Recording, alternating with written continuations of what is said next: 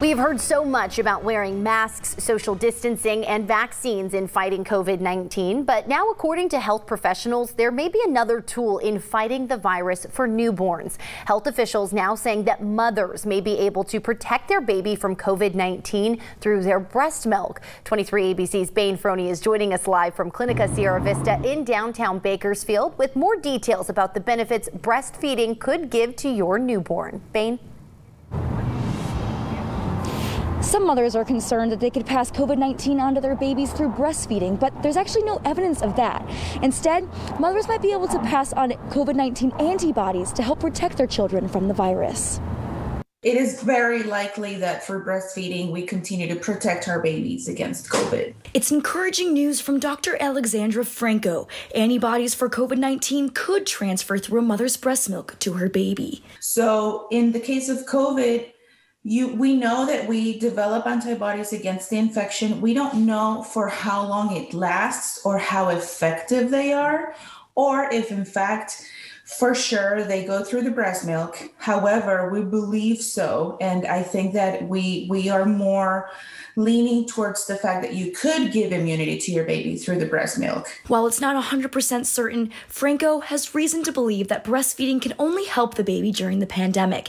She also encourages breastfeeding mothers and pregnant women to consider getting vaccinated to protect themselves and their babies. I'm 37 weeks pregnant and I got the vaccine a week ago. Pregnant females are at an increased risk of death and complications from COVID than the rest of the population. According to the CDC, pregnant women are at an increased risk for severe illness from COVID 19. Another stat that is raising concern is a JAMA study, which found during the pandemic period there have been 9.31 stillbirths per every 1,000 births versus 2.3 stillbirths for every 1,000 births. If you compare the risk of getting a vaccine that's been proven to be pretty safe, pretty benign, versus the risks of getting COVID while pregnant, you know, COVID can kill you and your baby while the vaccine is only going to protect you. Mothers who may have symptoms or are worried about passing COVID 19 to their babies, they are encouraged to wear masks and sanitize before and after breastfeeding. The more people that we get vaccinated in the community, the faster we'll be able to control this pandemic and we'll all be able to go back to our normal lives.